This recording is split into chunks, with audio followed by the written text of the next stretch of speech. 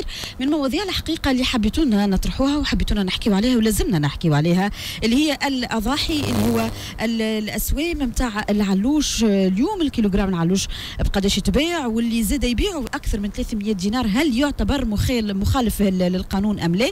نستقبل مع بعضنا رئيس الغرفة الوطنية للقصابين سيد أحمد العميري. صباح النور سيد أحمد. نهاركم أسعد وبرك نهاركم سعيد نهاركم دقله وحليب ليك وجميع العاملين المستمعين كابتن الله يخليك سيد أحمد يعطيك ألف ألف صحة. آه، كما قلت لك اليوم الضجيج المجتمعي التوانسه الكليك اليوم حديثهم على الأضاحي حديثهم على العلوش تاع العيد آه، حديثهم على القشارة زاده من ناحية حديثهم على المربي من ناحية أخرى. آه، اليوم أنتم كغرفة وطنية للقصابين bon أنا شفت تصريح ليك قلت إللي يبيع كيلوغرام العلوش بأكثر من 43 دينار يعتبر مخالف هكا ولا لا؟ معقول؟ باهي ناخذ رأيكم على الأسعار ناخذ رأيك على اللي صاير تو بخصوص العلوش بصفة عامة. شوف آه، تسمع فيها أي بالكدا آه، فيما يخص فيما يخص الأسعار نتاع 43 دينار. هذا قرار خرج من سيدة وزيره التجارة. راهو بالقانون راهو فصل اربعه يقول لك فهمتني يخضع فصل سامحني بغض النظر على أحكام فصل اثنين من هذا القانون وقصد مقاومة الزيادة المشتتة. واول انهيار في الأسعار. يمكن بموجب قرار من وزير المكلف بالتجارة اتخاذ اجراءات وقتية تبررها حالة إزمة أو جائحة طبيعية أو ظروف استثنائية أو وضعية سوق حالتها غير العادية بارزة في قطاع معين على أن يتجاوز مدة تطبيق هذا القرار ستة أشهر. هذايا فصل أربعة من الرائد الرسمي صفحة 2772 اللي اخذته السيده الوزيرة.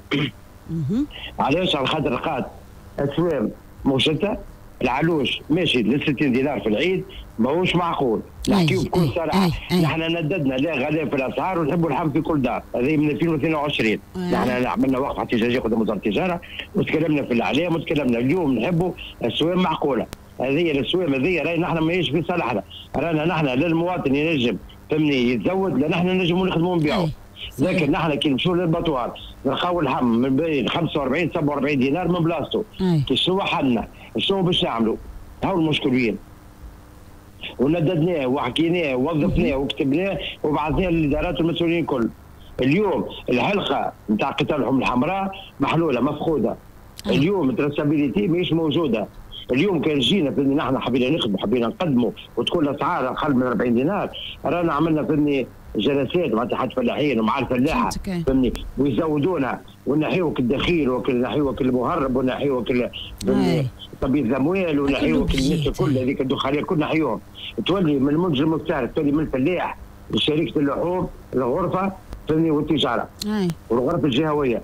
فوالا نسهلوا شوية الحلقة اللي يصير فيها شوية تلاعب ولا برشا تلاعب خلينا نقولوا في الأسعار. ممكن كما قلت أنت وهذا الأصح آه، والصواب هو اللي نعملوه هذا. هلا قبل العيد إحنا ما عادش مازال لنا أيامات معدودة على العيد. نجموا نشوفوا اللي هو باش يتيح سوم العلوش أكثر نجموا نطمنوا التوانسة نقول لهم لاباس راهو إن شاء الله باش يتم اتخاذ اجراءات أخرى باش يزيد يتيح شوية السوم هذا وإلا باش نبقاو في نفس النسق.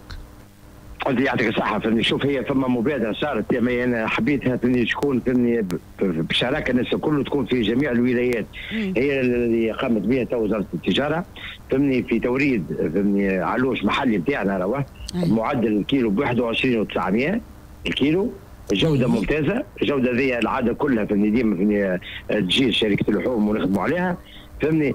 يا حبذا فهمني كان جات هذيا فهمني في جميع الولايات. فهمني الله غالب فهمني العلوش ب 21 900 كيلو بارابور برا من 24 ل 27 نعم. دينار هي موجودة في بعض الجهات. موجودة. فهمني حرام. أنت تشوف الناس هذيا حتى اللي موش هو ما كانش يخدم في القطاع هذايا اليوم ولا يربي ولا نعم. يبيع وعمل بسكولة. فهمني ما هو جورهم هذايا. هاو المشكل وين؟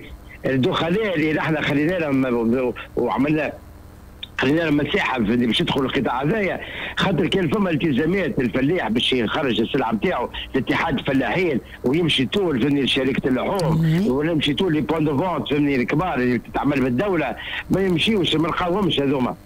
ما نلقاوهمش. اللي ما تخدمش عليها. وأنا نزلت عليها 11 من عام. اليوم أنا نقول نداء فهمني نجم نقول تونس الكبرى والناس اقرب اللي موجود في قريب تونس الكبرى بالعلوش ب 21 و900 من شركة اللحوم فهمني راهو فما تقريبا من 150 ل 250 ديفيرينس للرحبة وللقشارة. أيوه واضح. واضح جدا. يعطيك الصحة سيد أحمد. شكرا لك على المداخلة. مشكور من جديد. إن شاء الله نهيرك زين كان معنا رئيس الغرفة الوطنية للقصابين أحمد آه، العميري. مشكور جدا هذا. آه، حديثنا في الشأن المجتمعي. وحكينا عليه شوي آخر. نحكيو سياحة نحكيو مع سيد أحمد. آه، بالطيب نحكيو على الشفر اللي قلت لكم عليه قبيلة شوية. نحكيو على 9000 سائح اللي وصلوا ما عندهمش برشا إلى ميناء حلق الوادي في رحلات سياحية بحرية.